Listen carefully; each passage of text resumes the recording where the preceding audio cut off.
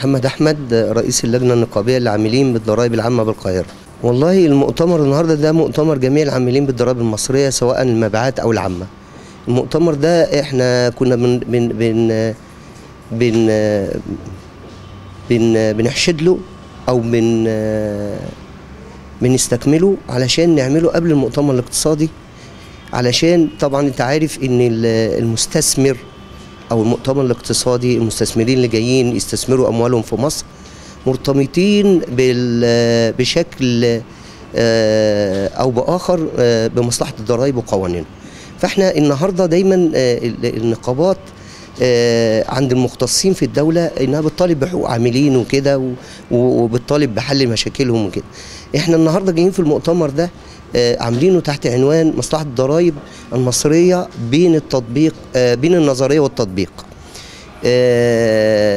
المؤتمر ده ليه أهداف. إحنا بنتكلم عايزين نوصل رسالة للقائمين في الدولة إن المؤتمر ده جاي بنقدم فيه مقترحات في ظل حضور ضيوف مختصين بالشأن المالي والاقتصادي في الدولة دكاترة ليهم وجهة نظر في تطوير المصلحة وتعاملها وسن قوانين و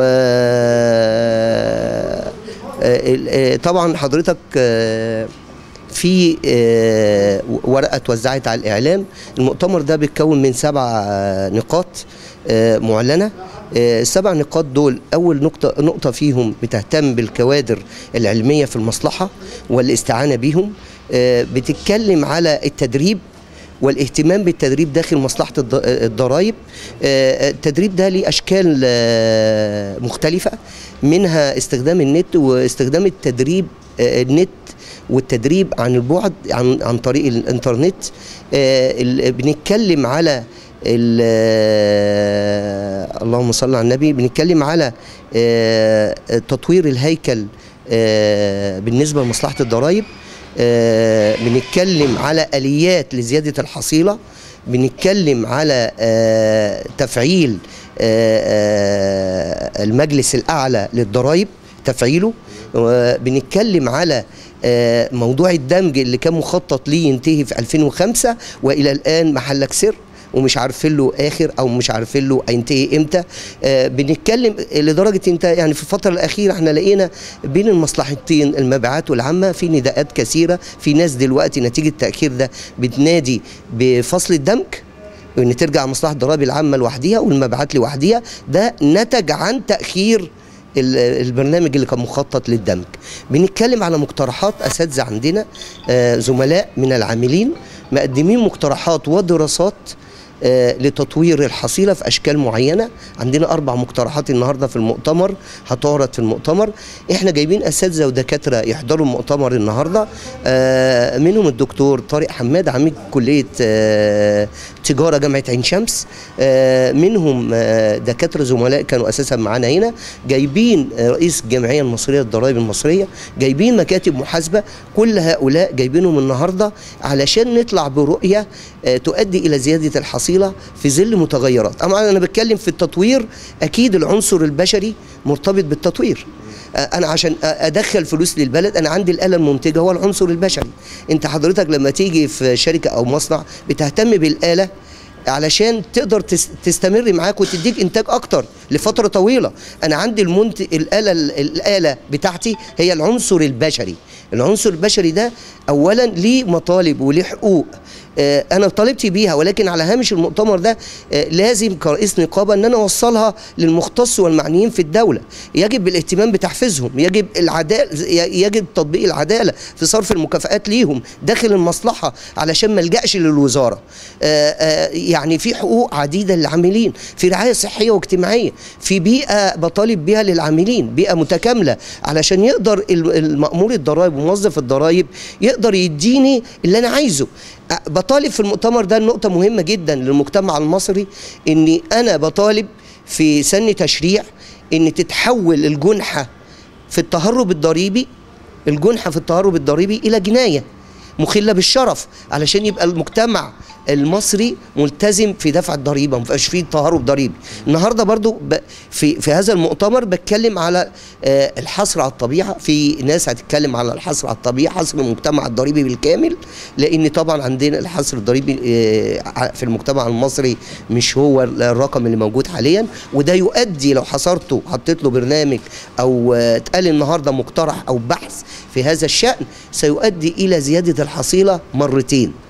ولكن المصلحة زي ما انت عارف متكتفة مفيش آراء مفيش أبحاث من هذا المنطلق ده اللي دعانا نعمل مؤتمرنا النهارده عشان يصب في المؤتمر الاقتصادي للدولة ونفس الوقت نوصل رسالة عن حقوق العاملين للدولة التي أهملت موظف الضرائب في حاجة تانية عايز اكدها لحضرتك أن من أهم ال- ال- ال- المشاكل عندنا ما أثير حول دخل الموظف في مصلحة الضرائب المصرية.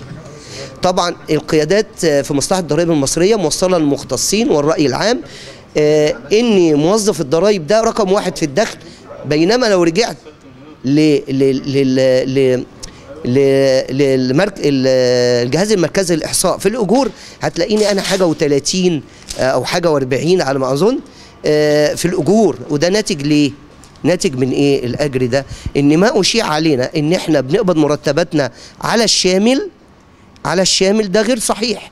حضرتك بيطلع مسؤولين وقيادات لينا وآخرهم رئيس المصلحة في برنامج في قناة المحور بيتكلم آه، في سؤال آه، طرحوا عليه آه، الأستاذ شردي بيسالوا على دخل الموظف بيقول له أنتوا رقم واحد في الدخل في موازنه الدولة يبقى اذا أنتوا رقم واحد.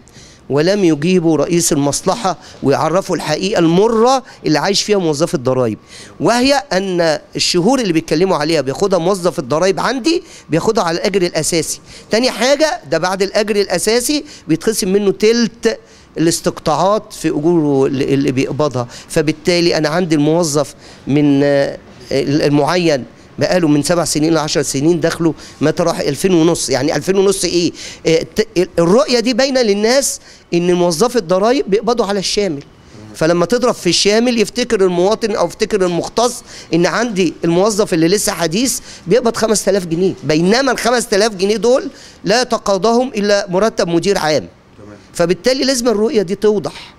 ولازم نقولها علشان الرأي العام وعلشان المختصين في الدولة يعرفوا حقيقة الوضع إنه ما- بيتنقلش من قيادات مصلحة الضرائب آه، ببيان صحيح. الدكتورة رندا أبو العنين آه، مدير عام إدارة تبادل المعلومات السابق وحاليا عضو المكتب الفني لقطاع الفحص والتحصيل. آه، أنا جاية النهاردة أقدم مقترح. الحقيقة سبق قدمته من 8 شهور.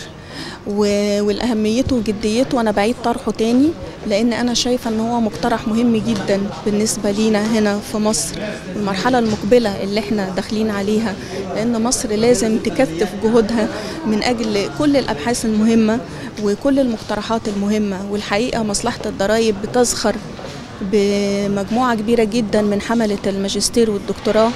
بيقدموا أبحاث كتيرة جدا مفيدة ولكن للأسف الإدارة العليا لا تأخذ بها ودي دي نقطة يعني من النقط اللي أحب أتكلم عنها. آه، لأن ال- ال- الإدارة العليا ما بتبصش للكفاءات بقدر ما هي بت- بتنظر للمقربين منها. هم دول الناس اللي في الصورة هم دول الناس اللي بيظهروا. اللي حملة الماجستير والدكتوراه يجب الاستعانة بيهم. أنا إيه اللي إيه هستفيد إيه لما أجيب مستشارين من مجلس الدولة ومستشارين من خارج مصلحة الضرائب وأدفع ليهم مرتبات بمبالغ كبيرة جدا؟ وأنا عندي حملة ال- الدكتوراه أساتذة كبار وقمة في الخبرة. وقمة في في الوعي القانوني والضريبي آه، ليه ما استعينش بيهم؟ ليه أكلف الدولة مال آه، مال زيادة وعبء فوق أعبائها؟ آه، أفتكر مرة في في اجتماع اجتمع بينا رئيس المصلحة مع حملة الماجستير والدكتوراه ال- من حوالي أقل من شهر تقريبا. ف يعني في الحقيقة يعني إزاي هو قال نقطة. قال إن تكنولوجيا المعلومات بند تكنولوجيا المعلومات في موازنة مصلحة الضرائب يساوي صفر. فبند تكنولوجيا المعلومات إزاي في مصلحة الضرائب يساوي صفر؟ إزاي؟ طب أنت حطيته صفر وفي نفس الوقت بتجيب مستشارين من بره المصلحة وبتدفع لهم فلوس. من باب أولى إن أنت تطور التكنولوجيا عندك وتطور كل حاجة تقدر تسهل على المأمور الفاحص إن هو يجيب لك حصيلة. إزاي؟ إزاي؟ غير منطقي جدا إن أنا كرئيس مصلحة أقول آه، بند تكنولوجيا المعلومات يساوي صفر. مش ممكن. كمان هو في الاجتماع ده آه، كان بيقول إن القانون 91 لسنة 2005 اللي هو قانون الضريبي المصري المعمول به حتى الآن آه، أهدر علينا المليارات.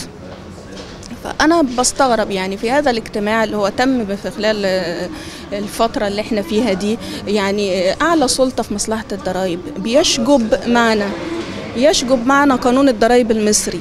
آه، من اذا سيعدله؟ من سيطور؟ من سيغير؟ من سيسعى إلى تغيير هذا القانون الذي أهدر؟ علينا المليارات. برضو أشاد بالدكتور بطرس غالي وقال إحنا خسرناه. كيف نخسر من من يضيع علينا المليارات؟ إزاي خسرنا الدكتور, بطرس غالي وهو الذي صدر في عهده القانون 91 لسنة 2005 والذي أضاع علينا المليارات؟ حتى لو كان الدكتور بطرس غالي لديه مقترح أو م- مطور معين فده فده غير مبرر إن إحنا نقول إن إحنا خسرناه. آه، أنا شايفة إن المقترحات التي تقدم من جميع الباحثين وجميع حملة الماجستير والدكتوراه في مصلحة الضرائب جميعها مقترحات مهمة.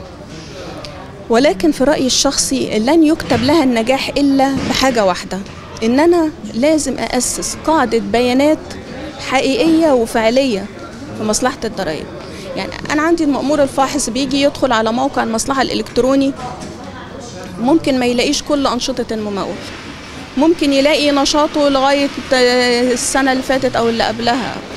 مش يعني مش قادر حتى ال- المأمور ما, عندوش الرغبة إن هو يدخل جميع البيانات ويعمل ريفرش لكل البيانات. فدي مشكلة كبيرة. يعني انت بتواجه دلوقتي ان انت لازم تعمل ساتسفاي للموظفين بتوعك عشان يقدروا ان هم يدوك أعلى أعلى حصيلة ممكنة. لازم يبقى ال- ال- ال- موظف الضرايب حاسس بالرضا التام عن شغله وإن هو مجهوده اللي هو بيبذل بياخد عليه العائد. وفي نفس الوقت أنا بقدم النهارده مقترح آه، زي ما قلت لحضرتك أنا سبق وقدمته قبل كده من 8 شهور بس ما شفتش آه، أي شيء على أرض الواقع. أنا رأيي إن إحنا نسجل جميع الممولين بالرقم القومي. أنا لو سجلت كل ممول بالرقم القومي بتاعه وأستخدم الرقم القومي ده كمحرك بحث يعني أنا أبحث بالرقم القومي. copy paste هيطلع لي جميع أنشطة الممول. هتطلع كل أنشطة الممول عندي. لو ليه نشاط في القاهرة لو ليه نشاط في اسكندرية ليه نشاط في أسوان هيطلع عندي. ده بالنسبة للشخص الطبيعي. أسجل الرقم القومي لمن يمثل الشخص الاعتباري. برضه هيطلع لي هو بيمثل الشركة دي أو الشركة دي وهتظهر ال- العلاقات المتداخلة اللي بين الشركات وبعضها. ده هيفيدني دوليا برضه إن أنا زي ما سجلت الرقم القومي أسجل أرقام جوازات سفر الأجانب اللي بيشتغلوا عندي في مصر وسواء كانوا مقيمين أو غير مقيمين. لسبب أنت بيجي لك طلب الحصول على المعلومات من الخارج دولة دولة بره مصر ألمانيا مثلا. بتبعت لك بتقول لك قول لي الناس دي وضعها إيه في مصر. رغم ال- الناس دي مش مقيمة آه، عندك بس تهم الدولة دي. زي ما أنا بديها معلومات. بتهم الشأن الضريبي عندها بره في ألمانيا. هي برضو في نفس الوقت ممكن تبعت لي معلومات عن المصريين أو الأجانب اللي يهم اللي يهموني ضريبيا هنا في مصر. فأنا شايفة أن المقترح آه، اللي هقدمه النهاردة إن شاء الله وهو التسجيل بالرقم القومي وأرقام جوازات السفر لغير المصريين المقيمين وغير المقيمين. ده آه، مقترح أنا شايفة آه، هو آه، أول خطوة في تحقيق تطور لتكنولوجيا المعلومات بإذن الله إن شاء الله في المرحلة المقبلة بإذن الله. حسن حسين عمر مأمور ضرايب مأمورية ضرايب فرشوط منطقة ضرايب قنا والبحر الأحمر. مؤتمر العاملين بمصلحة الضرايب المؤتمر ده إحنا نظمناه بمجهودات العاملين هو مؤتمر لجميع العاملين. المؤتمر ده بنوضح فيه رؤية وفكر. عنوان المؤتمر مؤتمر العاملين بمصلحة الضرائب بين النظرية والتطبيق. ده بنناقش فيه القصور اللي في القانون بنناقش فيه إزاي إحنا بنزود الحصيلة. إحنا كنا دايما بنهاجم من القيادات إن إحنا بنهاجمهم. لا إحنا دلوقتي بنقول للقيادات إحنا تعالوا اسمعونا تعالوا شوفوا الرؤية اللي إحنا بنتكلم عنها. إحنا بنعرض الفكرة بتاعتنا. يمكن مصلحة الضرائب من أهم المصالح في البلد لكن إحنا يعني آه، الوضع بتاعنا وضع سيء جدا. أحمد العطار مراجع في ضرائب كفر الشيخ مأمورية ضرائب فوق كفر الشيخ. إحنا النهارده جايين نحضر مؤتمر آه، مصلحة الضرائب المصرية ما بين النظرية والتطبيق. مؤتمر كل العاملين بنحاول نلقي فيه الضوء على آه، مصلحة الضرائب المصرية مشاكلها. إيه مشاكل العاملين فيها؟ دور المصلحة في تعظيم موارد الدولة باعتبارها بتمثل 70% من موارد الدولة وإزاي نقدر نحقق المنظومة الصعبة في إن إحنا نزود موارد الدولة ونعظم دور مصلحة الضرائب في إن هي تزود حصيلة الدولة من الضرائب؟ وفي نفس الوقت بندور على ال- ال- العامل اللي شغال في المصلحة إن إزاي نقدر نهيئ له المكان المناسب ونهيئ له المناخ للعمل وإزاي نحفزه على إنه يقدر يدي إنتاجية أكتر لتحقيق الهدف الأسمى اللي هو الحصيلة من الضرائب. بعض الضرائب العقارية فرضت في مساكن الأرياف وكده إحنا بنتكلم هنا عن الضرائب العامة والضرائب المبيعات. الضرائب العقارية لا مجال لها. العامة ومصلحة الضرائب المصرية تشمل الضرائب العامة وضرائب المبيعات. أكيد طبعا أكيد في معوقات كتير في منها التهرب الضريبي منها صعوبة الحصر الضريبي حاجات كتير محتاجة تعديل محتاجة نظرة محتاجة تشريع جديد عشان يبدأ الضرائب يكون لها دور أكبر في إن هي تبقى فيها حصيلة أكبر. شوف خطوات المتبعة يعني إزاي نعمل توعية للناس والله إحنا مقدمين النهارده مقترحات كتيرة من دكاترة معانا النهارده لبحث آليات إن إحنا نقدر نزيل المعوقات ديت. منها المعوق الأكبر هو المكان اللي بيشتغل فيه العامل غير مهيئ إنه ينتج فيه. الآلة اللي البني آدم بيشتغل لو اعتبرنا إن البني آدم ده آلة فالآلة لابد تحسنها عشان تقدر تنتج لك. مش هتقدر تطلع منتج جيد إلا إذا كانت الآلة جيدة. والآلة لابد لها من بيئة نظيفة من ظروف عمل مناسبة من من ماليات ي- كويسة عشان يقدر ينتج العامل. هل زيادة أسعار؟ لا والله هو ال- بالعكس ده الحكومة امبارح قررت إن الحد الأقصى للضريبة بقى 22.5% ما فيش زيادة في أسعار الضرائب. سيد سعد محمد عبد الله مدير إدارة أمن المعلومات والنطق الخطية بقطاع المعلومات الحاسب الآلي. وعضو مجلس إدارة رابطة مأمور الضرائب. بس إحنا جاي النهاردة ما بمثلش غير نفسي وزملائي العاملين. هدفنا النهاردة من المؤتمر حاجتين. نمرة واحد إن إحنا نرتقي بالحصيلة بتاعتنا. هنرتقي بالحصيلة بتاعتنا إزاي؟ لازم ننمي المورد البشري بتاعنا. مين المورد البشري؟ اللي هم العاملين والموظفين والمأمير الضرائب. لازم نديهم حقهم الأول عشان الحصيلة تيجي. وإحنا وإحنا وإحنا بنوعد إن إحنا هنجيب الحصيلة بأزيد من المستهدف كمان بس نمي الموارد البشرية بتاعتنا. نمي صندوقنا. نمي حوافز الناس. ادي الناس بلاش الحافز ال- يعني الحافز المادي مش كل حاجة. اديهم الحافز المعنوي. طبق الضبطية القضائية إحنا لنا ضبطية قضائية. زمايلنا كانوا بيتهانوا في أماكن كتيرة. لا إحنا عايزين الضبطيه القضائيه بتاعتنا. إحنا النهارده المؤتمر ده الهدف منه الأول إن إحنا هنرفع حصيلة مصلحة الضرائب. هنرفعها إزاي؟ عن طريق تنمية الموارد البشرية. تنمية الموارد البشرية ننميها إزاي؟ ونخلي الناس مرتاحة إزاي؟ تنمية صناديقهم. تنمية نشوف مشاكلهم حلوا مشاكلهم نقف جنبيهم نبقى في كل مكان في وسطيهم. بيئة العمل اللي عندنا بيئة العمل عندنا مش عايز أقول لك الدرجة بتاعتها لو قيمتها 10 من 100 لا إحنا عايزين نوصلها 40 بس. هو ده هدفنا من المؤتمر ده. يبقى على إنها جباية ولا على إنها وسيلة للتنمية وحافزة وداعمة للاستثمار. الموارد من الإيرادات الضريبية بتمثل حوالي 60% من موازنة العامه للدوله، فهي بتسد عجز كبير جدا للإنفاق العام، وإذا تجاهلناها يبقى إحنا بنتجاهل الجزء الأكبر، ما تنساش إن الموازنه العامه للدوله بتقوم على مصادر من الإيراد متمثلة في الموارد السيادية سواء كانت ضرائب أو جمارك أو رسوم أو فائض شركات أو منح والباقي يتم تمويله من خلال القروض سواء قروض من الداخل أو من الخارج. فلو نظرنا إلى الضريبة على إنها ليست وسيلة للتنمية لا هي وسيلة للتنمية وليست جباية. وإذا كان هناك رأي عند الغالبية العظمى من بعض الأفراد اللي هم بيتمثلوا في الأشخاص الطبيعيين خاضعين للضريبة على إنها جباية أو الأشخاص الاعتبارية المتمثلة في شركات الأشخاص من شركات تضامن أو توصية البسيطه على إنها جباية لا هي ليست جباية هي وسيلة للتنمية. وإذا كان هناك بعض القصور داخل بعض الإدارات الضريبية متمثلة في بعض المأموريات على أنحاء الجمهورية بالكامل فلا بد إن الممول اللي لديه مشكلة يتقدم إلى رئيس المأمورية ويتقدم إلى رئيس المصلحة. إذا كان الباب مقفول هنا أو هنا يتقدم إلى الوزير المالية. إذا لم حد ينظر له فهو صاحب حق. فعليه إن هو يمتنع عن سداد ضريبة إلى أن يتم البت في مشكلته. ومن وجهة نظري وزير المالية أو رئيس مصلحة الضرائب إذا لن يتم البت في جميع المشاكل المتقدمة للممولين فهم مسددي الضريبة فدافع الضريبة هو هو الحصن الأول للإنفاق العام لابد أن يتم الاهتمام به هكذا تسعى جميع التنظيمات في جميع الدول في العالم. فالمنظومة الضريبية إذا لن يتم الاهتمام والارتقاء بها لن يتم سد فجوة الإنفاق العام في الموازنه العامه للدوله قد يكون هناك بعض القصور من بعض المأمين أو من بعض الإستاف العاملين وهذا القصور يرجع إلى إيه؟ إلى قصور في نظرة استراتيجية الإدارة الضريبية من حيث تطوير الأداء تطوير الأداء لابد أن يتم من التدريب. فالتدريب دائما هو الباعث على الثقة بالنفس. كلما زادت الثقه بالنفس للفرد من خلال أدائه في التدريب فلابد أن تنعكس على أدائه الفعلي.